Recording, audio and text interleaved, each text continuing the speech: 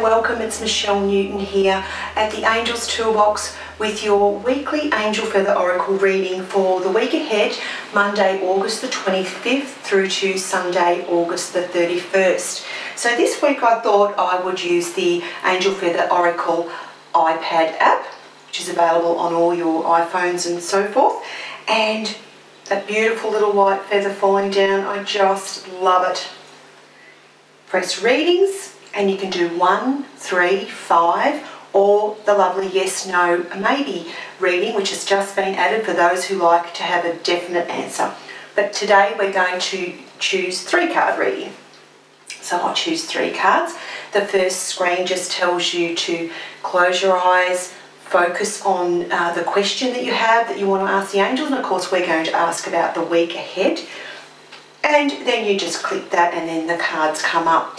So this is just as accurate as doing your um, Angel Feather Oracle reading with the card deck. You tune in and you just scroll across and we're going to choose three cards. So one, just intuitively uh, be guided to choose the three cards and this is for your week ahead. Okay, they're very much on about creative talents over the last few weeks, haven't they been?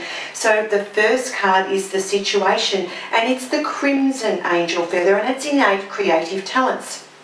The angels are here to reinforce to you that you have natural creative talents and skills which need to be unleashed or further developed. And it doesn't surprise me that this card comes up a lot because that's really what the angels' focus is for us in this lifetime is to be creative. The, uh, I'm going to do the emotional challenge next, which is the blue angel feather accept life as it is. The angels are here to advise you that you will feel a calming inner peace and peace of mind when you stop trying to control everything in your life. Okay, this is the angel saying now, come on, hand it over. You don't have to be in control all the time. It's that trust, isn't it? And the advice is a new beginning. The angels ask that you ready yourself to commence something new and exciting. A wonderful, fresh start awaits you this week. Now, I'm going to tune in on the three cards and how they sit together and what I intuitively um, download from the angels for you this week. I'm really feeling that um, this week it is about um, the creative side um, it's very a passionate um, energy this week as well. So that's the red, the crimson. It's very, um, it's heart, it's about passion. The blue card, the challenge is that um, it is those trust issues that, that can come up for us. It's, uh, it's also, um, it's accepting what's happening at the moment. it's accepting um, how things are flowing at the moment too, and and it's about the guidance is not to not to control. So it's that take a deep breath, okay, and focus on your breathing, and and also focus on what's coming out of your mouth as well. You know what you're thinking and what's coming out of here. They're telling me, they're showing me both. And the advice is that the, the angels are with you, that there is a new beginning. I really feel that this advice here is comfort. This week, I feel that it's it's this that's passion. It's about heart related things. It's about you more so than actually sewing. It's it's the it's the colour here with the crimson. I feel it's very heart related. I feel the, the challenges of this week could be about us not trusting our angels and the angels say just know that we're here. That's the white feather. That's the angel's comfort. It's the angel's sign that they're with you. So if you do see those white feathers this week, know that the angels are trying to reassure you that everything will start to flow better when you trust. Trust in your angels and trust in your path. So it's about what makes your heart sing, is what they're saying to me this week. What is it that makes your heart sing? And what is it that you you you controlling that you need to give over to the angels and trust in?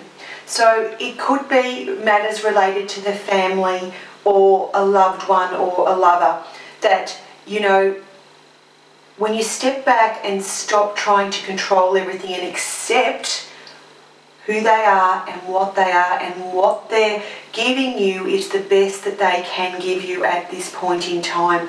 I think that really is the message for this week going ahead. It's trusting, it's stepping back, stepping out of that control, you know, the control issues that we all have. It's a natural thing.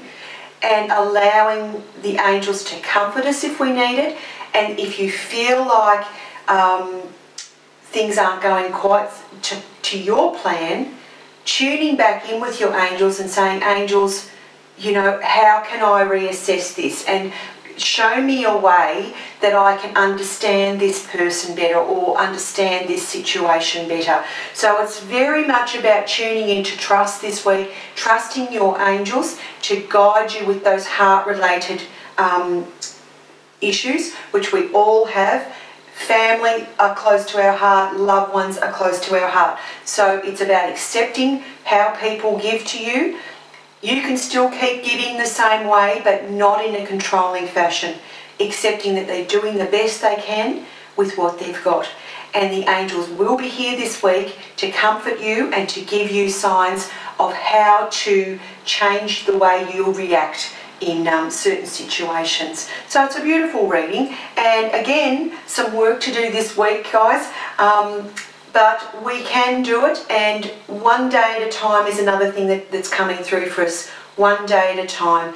Focus focus on the ones you love but in a way that is encouraging and a way that supports them um, to be the best that they can be so have a beautiful week ahead. Many, many angel blessings to you and your family. And I will see you back here next week for another angel reading at the Angels Toolbox. Bye.